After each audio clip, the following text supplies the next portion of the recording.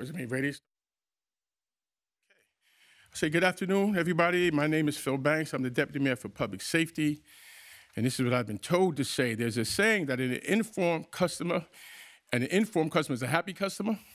And we're going to take that and switch it around. That an informed citizen is a safer citizen. And to that end, we'll be holding regular meetings um, to keep you informed of what the city is doing to keep you safe. And uh, you can tune into the mayor's office social media pages uh, wherever you're watching this right now, to hear directly from the leaders in charge of protecting our city about the services their agency provides, what programs they offer, what's new, and some tips to keep you and your family safe. So to hear, we're here today today to talk about the Department of Probation and the critical role that it plays in the criminal justice system.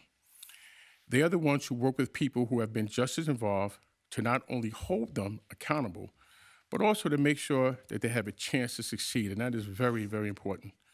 Ultimately, their work results in a safer community for all of us. So I'm joined here today by Juanita Holmes, who's the Commissioner of the Department of Probation, former colleague of mine. We've worked together for many, many years. She will be introducing her staff, and just by way of background, uh, Commissioner uh, Holmes served three decades in the NYPD, where she was the first African American woman to serve as a borough commander and the first woman to ever serve as a chief of patrol. And the chief of patrol is in charge of all of the, think about all of the precincts in the city. They all come up the line and they report to the chief of patrol. She also previously served as a commanding officer of the Domestic Violence Unit, the School Safety Division, the chief of training prior to becoming the probation commissioner. And she brings a wealth of experience to this department. So now I'm going to turn it over to you, uh, Commissioner Holmes, to be able to explain to uh, the citizens here exactly what probation does. How do they contribute to the, the fabric of the city? I know that you have a host of your senior leadership here, who I'm very familiar with. And I know that we're all interested in uh, getting this like really bird's eye view about what's going on in probation. So good afternoon, and uh, talk to us. Thank you, Dean. Good afternoon. I'm Juanita N. Holmes, Commissioner of the New York City Department of Probation. Also here with me today are the following key members of our leadership team. Deputy Commissioner of Strategic Initiative, Robert Maldonado, Acting Deputy Commissioner of Juvenile Operations, Lisa Frost, Associate Commissioner of Adult Operations, Robert Eusebio, and General Counsel, Bridget Hamlin. Today, we will be defining the role that the Department of Probation serves in the criminal justice system. Probation's core function is to reduce recidivism with the hopes of improving public safety. Probation is an alternative to incarceration, where an individual is sentenced by a judge to community corrections.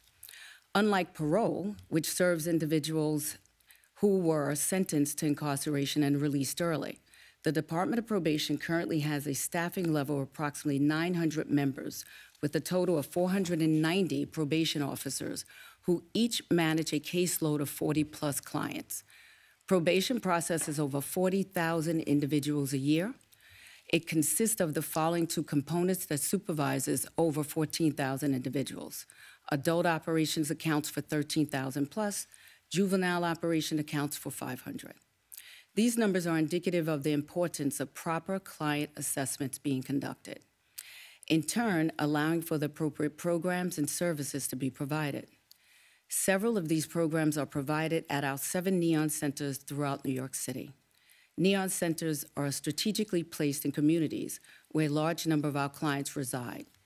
Neons are not only used by clients, but also by many residents in New York City.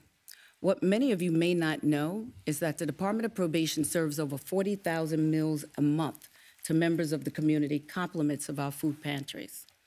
In addition to programs, I'm sorry, in addition, programs are also provided by via collaboration with many other city agencies and non-for-profits. I would like to now turn it over to our Acting Deputy Commissioner of Juvenile Operations, Lisa Frost, and she'll give us a brief overview of the juvenile process. Thank you, Commissioner. Good afternoon. Nearly all young people between the age of 12 less than 18 come through our front door once they are arrested. To put that into perspective, from January to now, we have conducted over 6,500 intake interviews with young people. An intake interview consists of a probation officer interviewing a young person, their parent, the, we reach out to the victim as well as the arresting officer, and we also reach out to their schools as well as any program that they may be involved in in the community. Why do we do this? This is to, for us to make an assessment if this young person is suitable and eligible to be diverted from court, and we can monitor them in the community. Some of the things that we consider when we are making that decision is the young person's risk factors, the safety to the community, the victim's input, and the young person's willingness to, to cooperate with interventions. During this process, we have 90 days to work with this young person. If additional time is needed, we have an additional 20 days with notifying the court. The purpose of, it, of diversion is to support the young person by providing services, also holding that young person accountable for their actions, as well as deterring them for further contact in the juvenile justice system. Between January and the present, we have opened over 1,600 um, diversion cases, with 700 of those being Raise the Age youth. Lisa, can you tell us a little bit about the diversion cases when it comes to the criminal justice system? How does it reflect the young adult? In other words, they, in other words, young adults that are recommended for diversion are pretty much taken out of the criminal justice Yes. system. Yes, that is correct. So with the diversion, with diversion, we're looking at how can we hold the young person accountable without pushing them further through the justice system. We have dedicated probation officers that are working with these young people in the community. We are uh, providing programs for them. We are connecting with those programs to make sure that they are cooperating and they're getting the best services to help them thrive in the community and not return. Thank you, Lisa. I think Lisa, the- I'm sorry, how long have you been with probation? Uh, 28 years. 28 years, right? Yes. Okay, very good. Okay. Yeah, I think the most important thing there is removing the young person out of the criminal justice system, which is what we aim to do. So that assessment in the beginning is critical. Um, and also, there are two other points when a young person can be referred or recommended for diversion. Even though they may be referred by the probation officer to the uh, corp counsel, the corp counsel can turn around and say, nope, we don't agree with this. We want them to go back and you now reconsider them for the diversion uh, program. Same thing if it re- reaches all the way up to a judge. A judge can turn around and say, no, we want this person considered for a diversion program. So I think that's critical to the work that we do. Uh, thank you, Lisa. Uh, Robert, um, now our Associate Commissioner of Adult Operations, I'd like to turn it over to you for a brief uh, overview of the adult process. Thank you, Commissioner Holmes. So, good afternoon, everyone. Adult supervision or probation, as, as we call it, I'm gonna, I'm gonna throw some things for us to keep in perspective. We meet, we assess, we connect, and we support people to- for their professional growth. What that means is when someone comes through our door, through investigation where we assess nearly 30,000 cases a year, that's the average investigations that we do, we do an assessment of someone to make the, help the judge make decision, judicial decision as to whether this person can be safely supervised in the community. Assuming that the uh, a decision is made for this person to be in the community, then our supervision team uh, kicks in. Part of that is to assess what are the risk level, what are the, the things that we need to focus our work to make sure that this person can successfully get through this journey called. Um, as part of that, we use uh, validated instruments to make sure that we look at what are the things that out of this person's life that we need to focus on to reduce the risk of them coming back into the system. That is, by definition, what our intake loo- uh, looks like. Our supervision process, which can be anyone can be on, on probation from a year to up to 10 years, depending on what type of offenses. We have different things to meet their needs. And along that, let me remind you, our Neighborhood Opportunity Network, or NEON, is the model that we use. By providing services to those people on probation in their community, connecting them to viable resources. Under the vision of uh, Commissioner Holmes, we've taken a deeper dive to look at what are the things that we as a department can do better. In the front end, while we're assessing, look at what are, what are the things that we're doing, what are the metrics of that, and as we go through the, through the probation process, continue to support the person so they can safely be uh, in the community. let me throw a number uh, out, uh, out for everyone to uh, sort of assess. We have 12,000 people to 13,000 people on probation at any given day. That constitutes three times the population of Rikers. So that means what? We have dedicated members of the Department of Probation who give their best each day to make sure that we can safely walk through our city while yet providing opportunities to those that are on probation to be able to get off the system and continue with their life. I am there, Commissioner. Thank you, Robert. Uh, Robert, also, you want to speak about some of the things that we're doing new, like the exit interviews or some different variables that have been added to the entry um, assessments as well. So currently, we have a work group really looking um, in a more intentional way.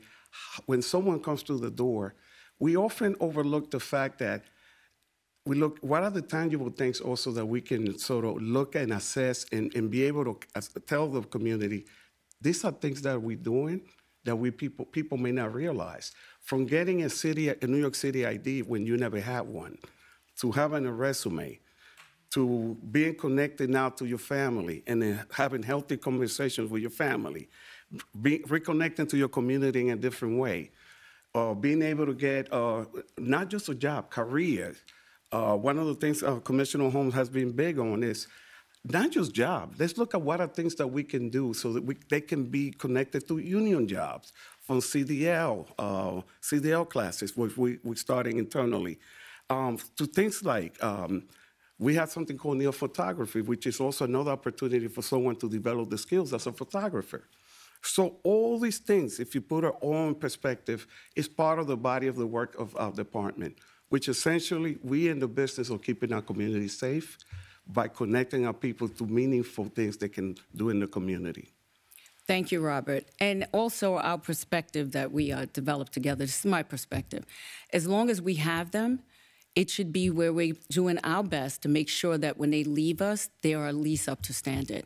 Uh, what I think a lot of people don't realize is that a lot of our clients are undercredited or behind in grade, unemployed. And with that, we want to make sure that we have meaningful programs and services to offer them uh, where they can leave us and, and still be in a better place. Thank you. Um, I'll now turn it over to our Deputy Commissioner Robert Maldonado, who's overseeing strategic initiative. This is a new position that was created under my leadership as a result of me having a strong interest in making sure that we get it right with the programs and services that are afforded to our clients. So Robert's been tasked with uh, a number of uh, many things, but more importantly, program evaluations, research assessments, things of that nature. So Robert, do you want to give us a little uh, overview? Sure. Thanks.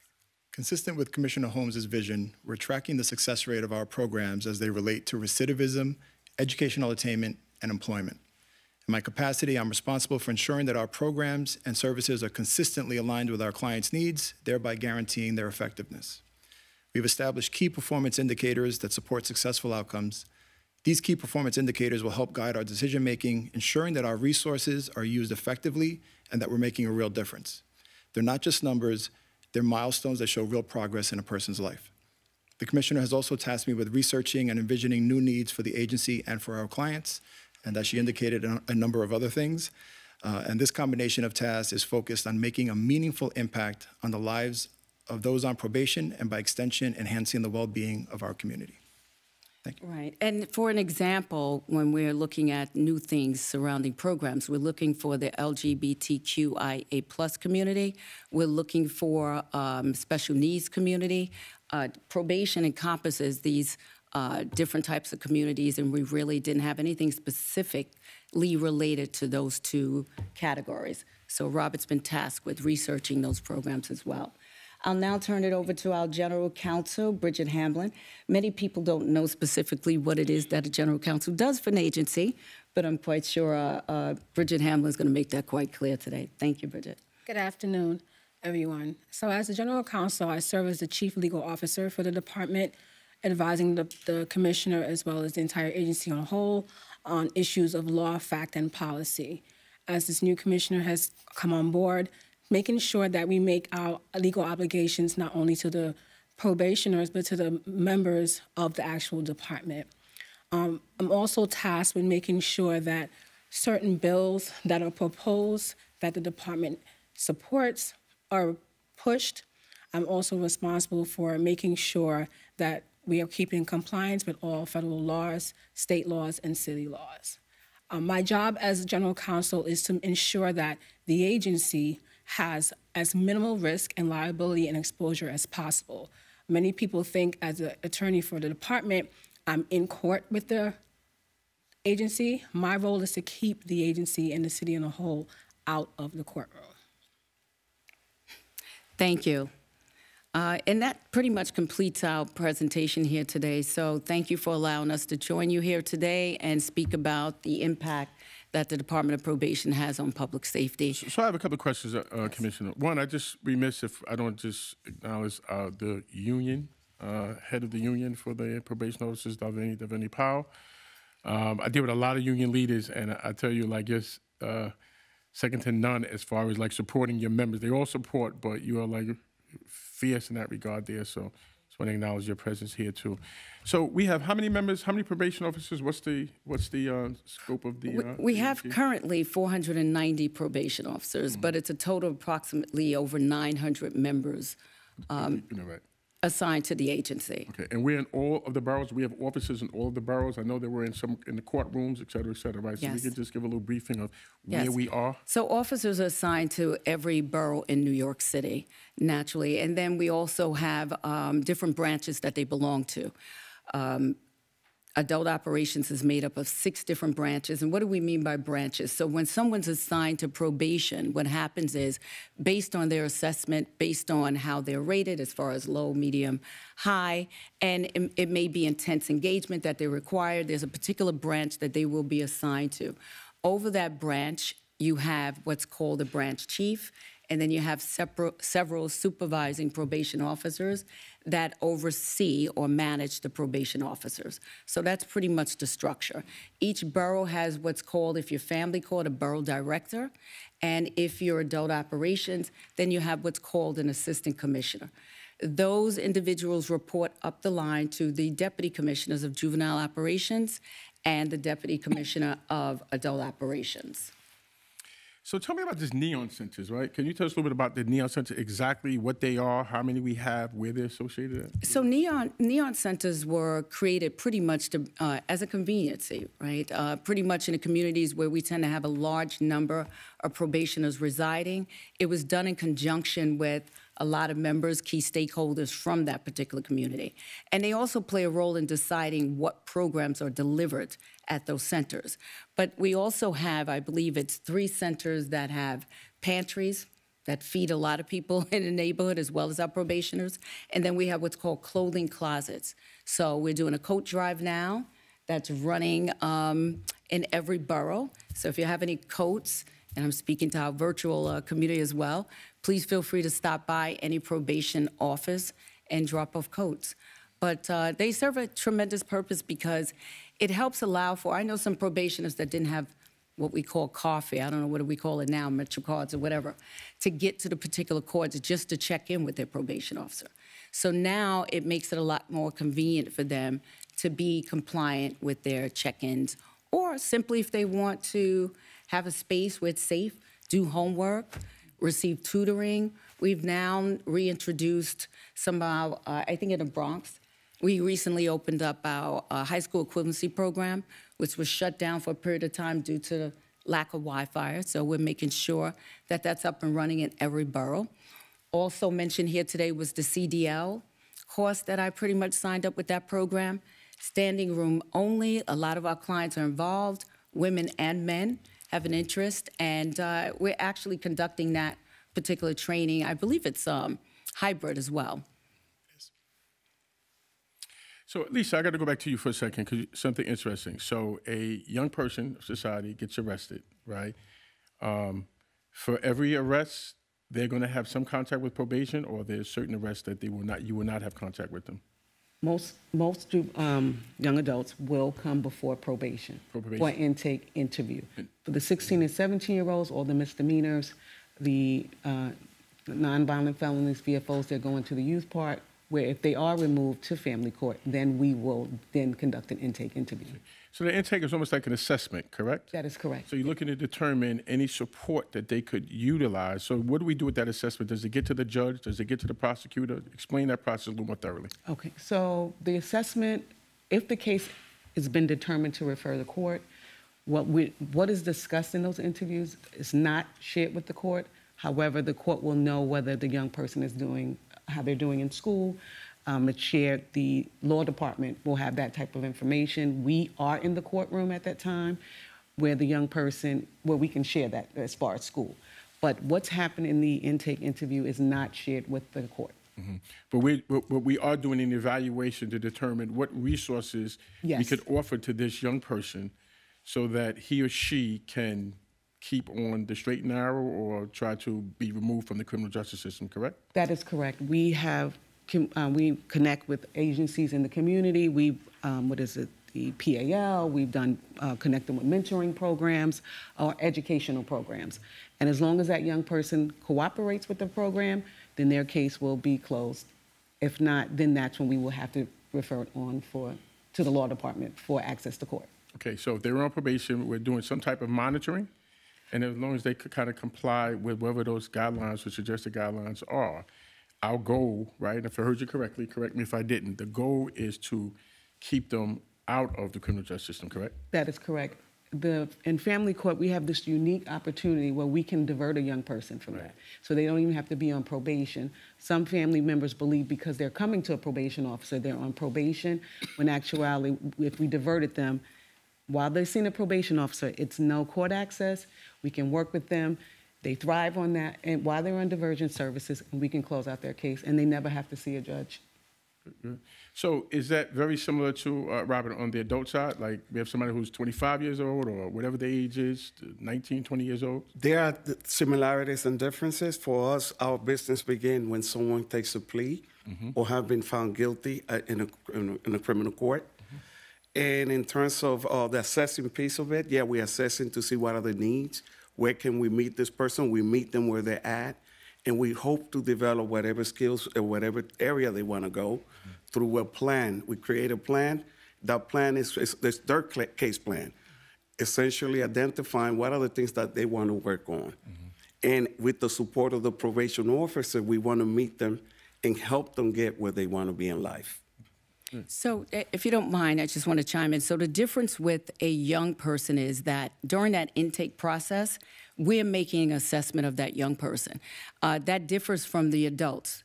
Where we kick in with the adults is that if a judge is considering an adult for probation, they will request of us an investigation be conducted. And there's a pre sentencing instrument that's used to conduct that investigation that's then forwarded to the judge.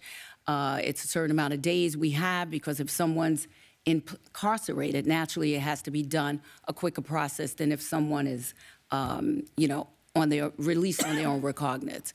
So once that's forwarded to the judge, a judge now considers that as part of the sentencing. And if the adult is now sentenced to probation, now they come into probation, and now we're really doing a thorough assessment of what are their needs. Unlike the children, the young people, where that's done with probation initially in the intake uh, section. You know, it's just it's like probation is, and I'm hope. You know, I I actually got a you know got a lot out of this today, but you know I pretty much know it relatively well. But for many many years in this country, right? You know, we look at arresting people as the only way to actually um, keep disorder. The reality of the matter is, is that so many of these people can be saved if we give them the proper resources.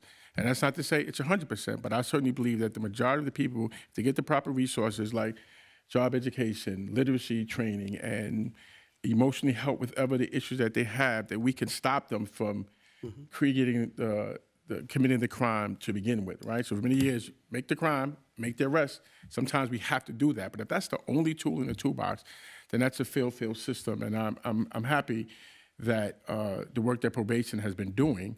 Uh, but I expected nothing short of that because I've worked with uh, Commissioner Holmes for a very long time, um, and she's worked for me uh, in, in plenty of different assignments. Um, and the one thing about that I will have to say about your commission is that um, she probably more than as much as anybody I've ever worked with always come up with new ideas and new ideas and new ideas, and we don't have to do it this way. And how do we push and how do we push and how do we push and how do we save the kids and how do we save the kids? And I've been hearing that from her uh, ever since I met her. We can save these kids. So I really do appreciate that, and I appreciate, you know, what you're bringing here to your particular team there uh, as well. And this is just not, Thank you. hey, we're in front of the camera. You know, I felt that way about even when you're in domestic violence, school safety. So I'm happy and pleased that you bring that same type of a different way to look at it, not the same way as yesterday, approach to uh, probation. And uh, we're seeing some really, really good things. So I just want to thank the, the team here uh, for all of uh, the work that you've been doing. Thank so with that, we're going to kick it to you.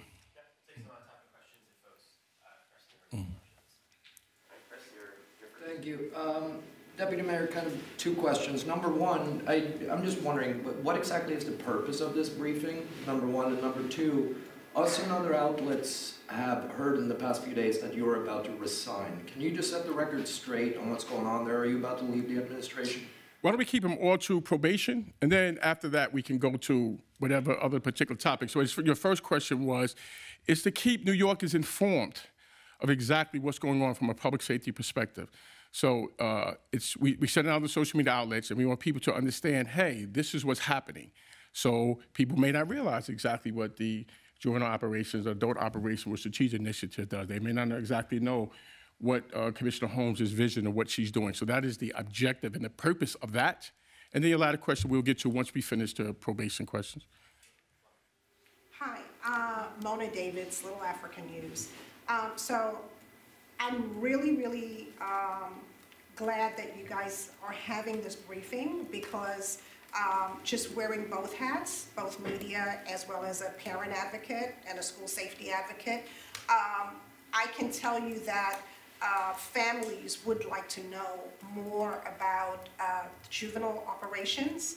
Um, and then speaking uh, media-wise, I'd like to know, um, what are some of the organizations, uh, community-based organizations that you are working with, uh, Deputy Commissioner Frost? And then also, um, in the African community, there's a rise of our youth getting involved with criminal activities. Um, I know Reverend Cohn and uh, Mrs. Cohn can speak to it because wearing the other hat, I work closely with them. So when it comes to those communities, and we're seeing the rise uh, when it comes to our youth, um, with the with the language difference, uh, when it comes to engaging the families and the parents, and then with community-based organizations, are you working with any, say, for example, um, African, French-speaking uh, organizations? What type of engagement is out there to inform these communities and community leaders about these programs, both for juvenile as well as um, for adult operations? And then my second question is, when it comes to um, the schools, um, are you guys, are you already engaging schools, public schools and charter schools, um, so that their guidance counselors and their deans can also know about this program? Because I can tell you, as someone very active in the space,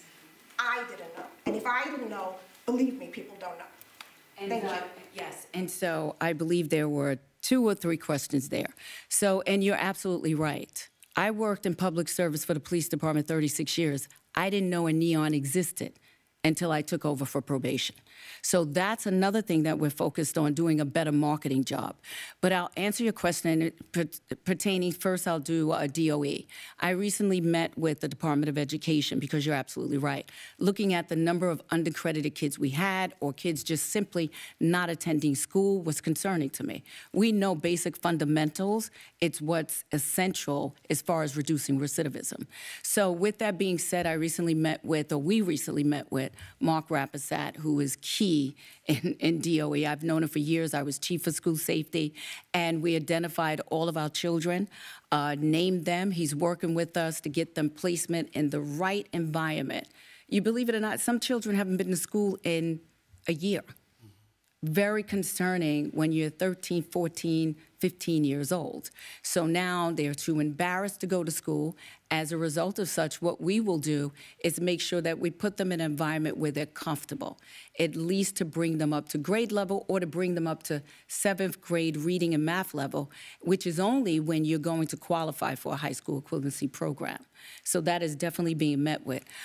Your other question, as far as meeting with the African and French community, I'm so glad that you brought that up because we were just speaking about language access yesterday, right? Which is a report mandated by DCAS. Everyone has to be in compliance. But to get more granular boots on the ground, that is something that this good person right here is working on in his research to make sure that we're meeting with those community-based organizations and developing those uh, relationships. So I know for a fact he has made note of uh, your inquiry right now, and that we're definitely going to be top on top of and make sure we're doing. As far as the Cohens, I've been with them through the police department, through my mentorship groups. We work well together. They do a terrific job with TAG, and they'll be tapping into the Department of Probation as well. And then you had a question about some of the programs with the juveniles. Lisa, would you like to speak to that? Sure, yes. So uh, some of these programs you may be aware of, we work with CASES. Um, we also work with, I, I mentioned the PAL. We also work with the YES program. This is a program with young people with, with shoplifting where they work with, um, that is part of the diversion program. And various programs in the schools. We, we do go to schools with, um, with the young people in, in adjust diversion. We visit the schools, we meet with the counselors, and programs that are within the school or the young person is connected to in the community, we will meet with them, learn about what they do. So we're not actually setting the young person up by having them go to various programs. If the young person can get service in the school, then that's what we'll do. Are you also in charter schools as well? Well, we, we don't, we're not based in the school. We make visits to the school, but if the young person is in a charter school, we're going to a charter school, yes. thank you. You're welcome. Who, who do you work for? Um, I'm the publisher of Little Africa News. We're the only African newspaper, weekly newspaper in New York City, in New York State. And I'm also the head of the School Safety Coalition. What's your name? Mona Davids. Thank you. Thank you. Good afternoon. I'm Darla from Channel 7, if you guys don't know Darla Miles. Um, Can we talk about how this success is being measured and what data and metrics you can provide to, to show us that success uh, in terms of this briefing? And also just dig a little bit more deeply into this program and with, with regard to what age range uh, of children are you dealing with? And what type of offenses are they being referred to you with? Are these misdemeanors? Are these violent felonies? Can you kind of just give us a little bit more of a breadth of how that works, please?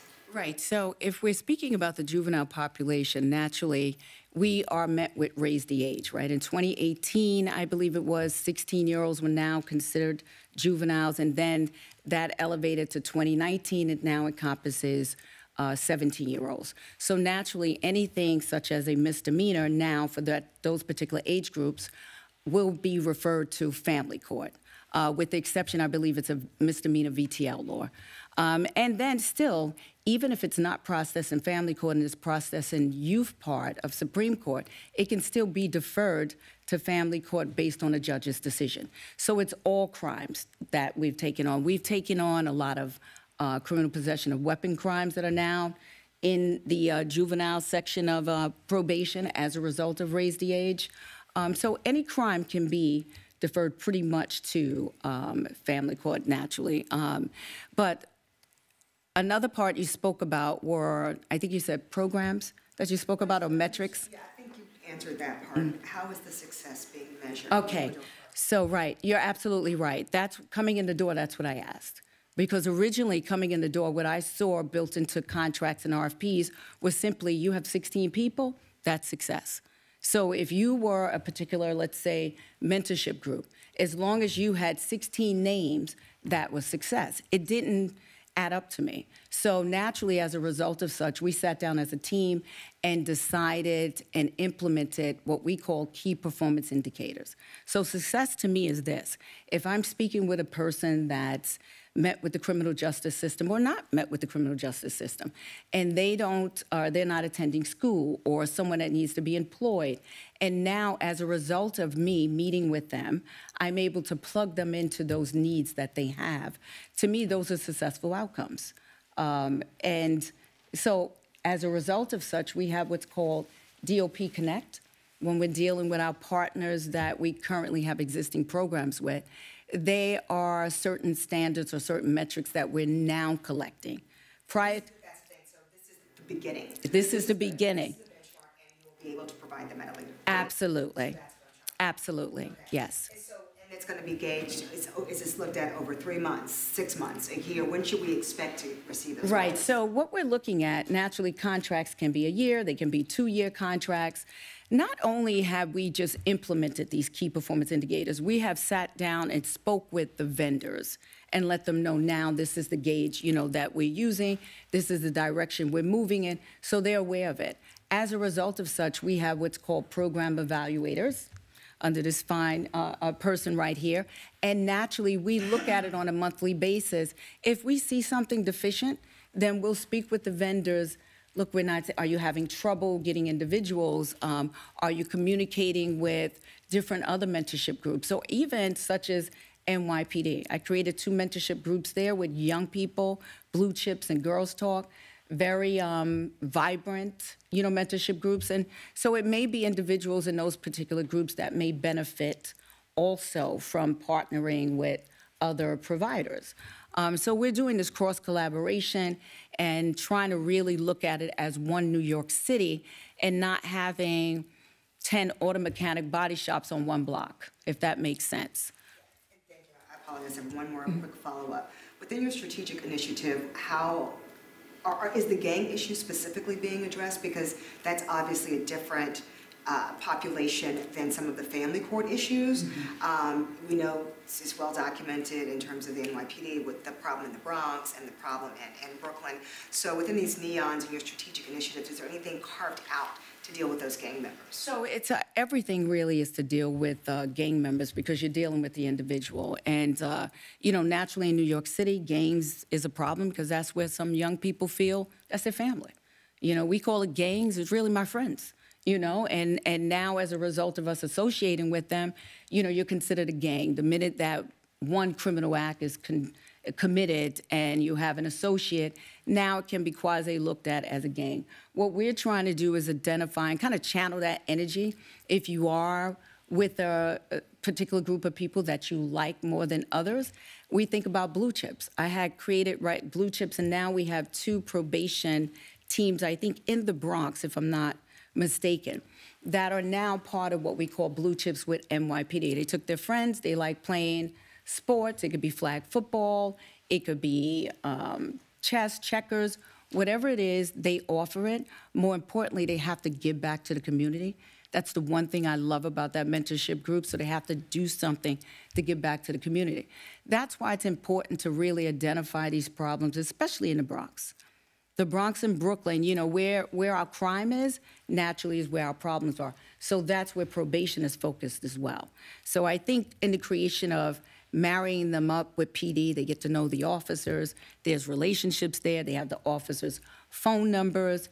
Hopefully that'll mitigate some of that. But we do look at gangs uh, in particular, and hopefully we can channel them in a different direction. You're welcome. You can move off to whoever. Uh, Yeah, I mean, that- I'd reiterate the same question I had earlier. question was what? We, as well as other outlets, have been hearing that you're gonna be stepping down by the end of the year. Who, who you hearing that from? I, I'm not gonna disclose my sources, but we've been hearing it from people who are familiar with the matter. You know, people say you can't disclose my sources because I got this information, but I can't disclose my source by somebody who's stepping down or not stepping down. When you tell me who you heard it from, I'll answer the question. So you're not gonna address the question whatsoever? Oh, hold on, no, hold on, hold on, hold on. Because press, they think sometimes you gotta, da, da, da. I answered the question, right? You got the answer that you're gonna get. Right, but it's not a yes or no, so you're not really answering the question. You have the answer that you're gonna get. I think he had a question next. Um, and I also did wonder, but I, that's something I saw on Twitter, so I don't have any idea. So, I don't know if that changes anything at all, No, but but. it's, it's interesting, right? We got some questions, some really good questions here that the public wants to hear about probation. hear about that too. Yeah, I mean, I well- hadn't heard it, but now I really want to know. Is it a yes or no? I mean, I- obviously, but it's been out there, and there's always something, you know. Yeah, but I mean, juicy. you know, Well, this is, this, this, the public wants to know that as well. The public does not want to know. The public doesn't, the, the, the, the public, the public could care less about who, they want, you know what the public's concerned about? Safety. They don't care what they deliver to them. They care about safety. They don't care about what an individual person is doing. But either way, you had a question. We'll get back, because I spend, all- I can do this all day. Go ahead. So, uh, going back to when the mayor returned from Washington after Brianna Suggs had her room raided, did you speak to the mayor that day? Did you meet with him? Did you talk to him on the phone? asked the mayor, I think a question was asked to the mayor. He says that he does not share uh, conversations. So I'm going to give the same answer that he gave. But I speak to the mayor 400 times a day, uh, all of the time. Uh, so I, I couldn't even go back to say a day I did or did not speak to him. I speak to him all of the time. I spoke to him before I came in this room. I'm gonna speak to him I leave out this room because public safety is his platform and we speak. Uh, but the reality of the matter, I don't even recall a day. There's not a day that doesn't go by that I don't have multiple, multiple, multiple conversations with him. So I, I, that whole issue here, but Disclosing the nature of what the conversation was, just broadly as a topic. Did you discuss Breonna Taylor, or Brianna Suggs, I'm sorry? I, I can't, um, I don't share my conversations with the mayor, but I'm going to give you a bit. I don't know if I've ever had a conversation with the mayor about, about Brianna. So I'll just give you that. I don't know if I've ever, ever had a conversation with her about her. But the whole stuff about who he met with, he said he hasn't share his conversations. I'm not going to particularly share my, those particular conversations there as well. Can I ask about an update? I, I, I get your. You're going to go. Uh, no, no, no, no. You can. I'm actually gonna ask Chris's question again. might Phrased differently. I Is that, is that what they teach in journalism school? One person asks, another person asks, you get a different answer here? No. I have a different question. Um, uh, Luis Molina, the correction commissioner, was supposed to